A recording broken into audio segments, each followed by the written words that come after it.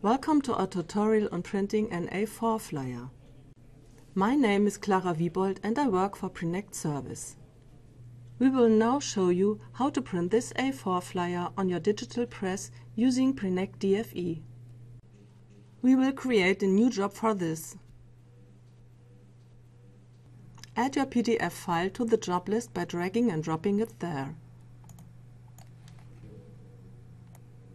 Assign a job number. A job number is red if it has already been used.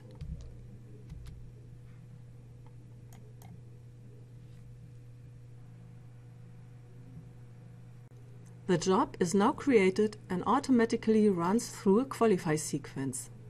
This checks the print data for issues and errors.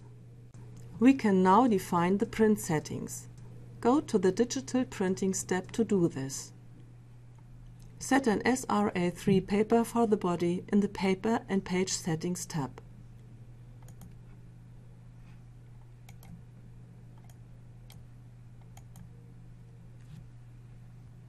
After that, select the paper for the cover.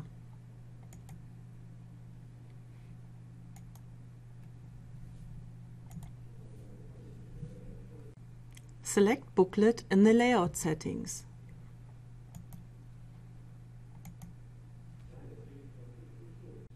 You can customize the size of the preview using these two icons.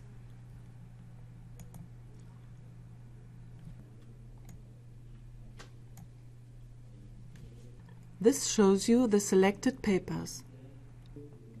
You can check your result using the reader's spread.